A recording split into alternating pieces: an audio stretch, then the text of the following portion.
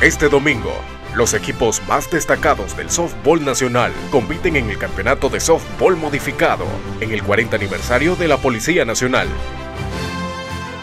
3 de noviembre, 8.30 de la mañana, en vivo por el Comité Olímpico Nicaragüense desde el Estadio del Barrio San Luis en Managua.